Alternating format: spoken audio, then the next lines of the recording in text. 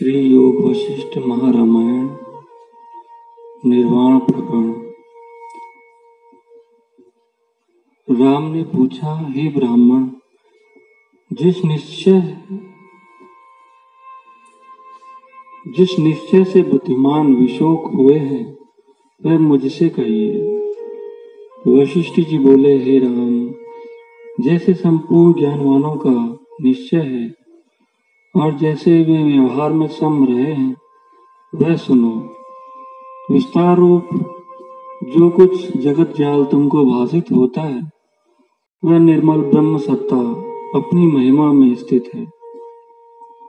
जैसे समुद्र में तरंग स्थित होते हैं, और नाना प्रकार के उत्पन्न होते हैं, वे जल रूप है, जल से भिन्न नहीं। वैसे जो ग्रहण करने वाला है वह भी ब्रह्म है और जिसको भोजन करता है, वह भी ब्रह्म है। मित्र भी ब्रह्म है, शत्रु भी ब्रह्म है। ब्रह्म ही अपने आप में स्थित है।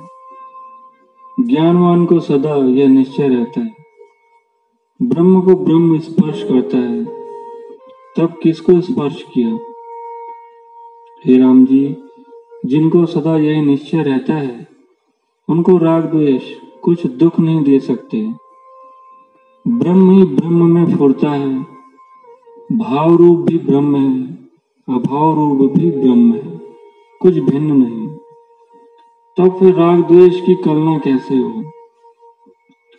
ब्रह्म ही ब्रह्म का चिंतन करता है, ब्रह्म ही ब्रह्म में स्थित है। ब्रह्म ही अहम अस्मि है, ब्रह्म ही सम है, ब्रह्म ही आत्मा है। और घट भी ब्रह्म है, पट भी ब्रह्म है। ब्रह्म ही से सारा जगत विस्तार को प्राप्त हुआ है। हे राम, जब सर्वत्र ब्रह्म ही है, तब राग विराग की कलना कैसे हो? मृत्यु भी ब्रह्म है, शरीर भी ब्रह्म है, मरता भी ब्रह्म है और मारता भी ब्रह्म है। जैसे ब्रह्म से रस्सी में सर्प भाषित होता है जैसे भ्रम से रस्सी में सर्व भाषित होता है, वैसे आत्मा में सुख दुख मिथ्य है। भोग भी ब्रह्म है, भोगने वाला भी ब्रह्म है, और भोक्ता देह भी ब्रह्म है। निदान सर्वत्र ब्रह्म ही है।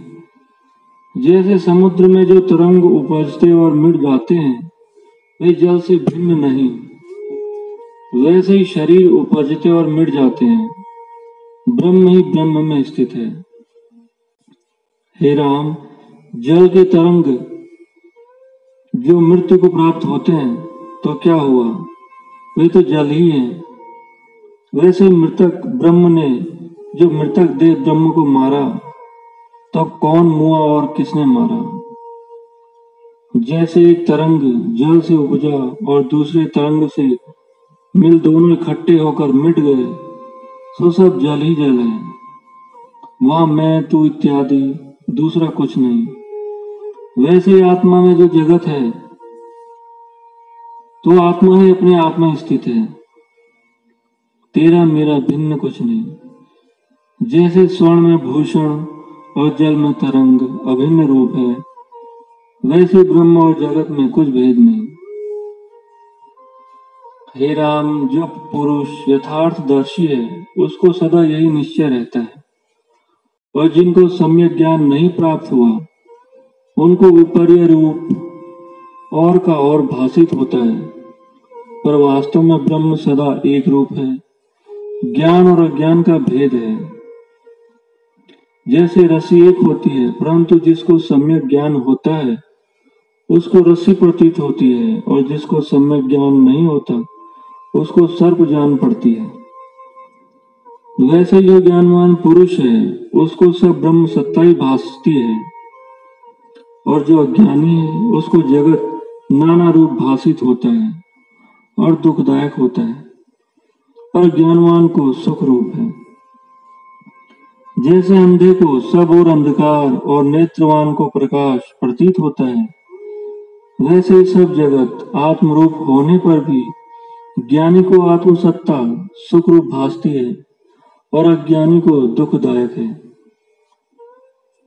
जैसे बालक को अपनी परछाई में बेताल बुद्धि होती है और उससे भय पाता है पर बुद्धिमान निर्भय होता है, वैसे अज्ञानी को यह जगत दुखदायक और ज्ञानी को सुख रूप है। यदि मेरा निश्चय पूछो तो यूँ है कि मैं सर्वमय ब्रह्म नित्य शुद्ध सर्वव्यापी। हूँ न कोई मरता है, न उपजता है। जैसे जल में तरंग न उपजते हैं और न मिटते हैं, सब जल ही जल है। वैसे ही पंचभूत भी आत्मा में है और जगत भी आत्म रूप है। आत्म ब्रह्म ही अपने आप में स्थित है। शरीर का नाश होने पर आत्मा का नाश नहीं होता। मृतक रूप भी ब्रह्म है शरीर भी ब्रह्म है। ब्रह्म ही अनेक रूप होकर भाषित होता है। ब्रह्म बिन शरीर आदि कुछ सिद्ध नहीं होते। जैसे तरंग फ़ैन और बुलबुले जल रूप हैं, वैसे देह, कलना, इंद्रिया, इच्छा, देवता आदि सब ब्रह्म रूप हैं। जैसे भूषण स्वर्ण से भिन्न नहीं होता, स्वर्ण ही भूषण रूप होता है। वैसे ब्रह्म से अलग जगत नहीं होता। ब्रह्म ही जगत रूप है। जो मूड है, उनको द्वैत करना भाषित होती है।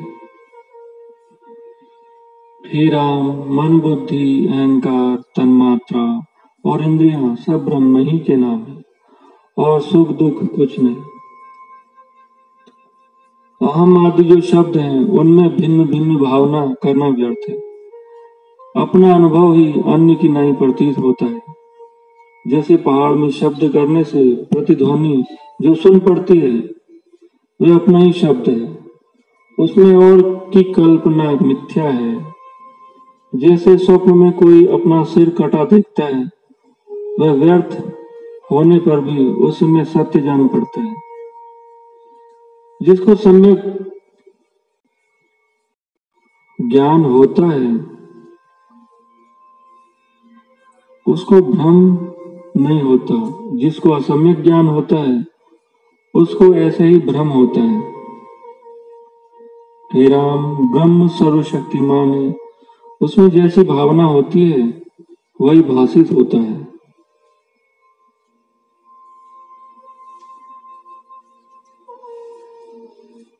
Maria.